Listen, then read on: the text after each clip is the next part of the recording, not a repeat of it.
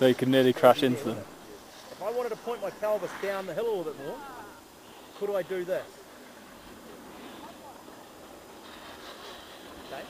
So now I have a little bit of separation, Nice. don't I? Between where my legs are going and where my body is facing. Correct? Where is that rotational separation occurring? So just watch as you lengthen your legs out, watch that you don't twist your hip around.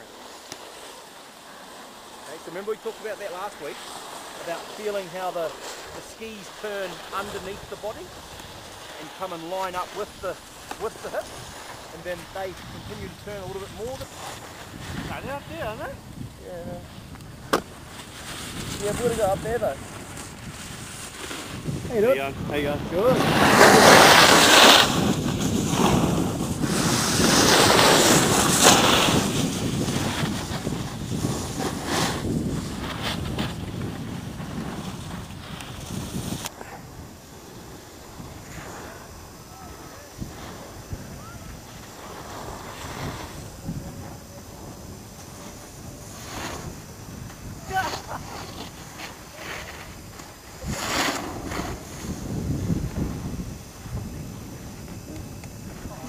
something. Huh?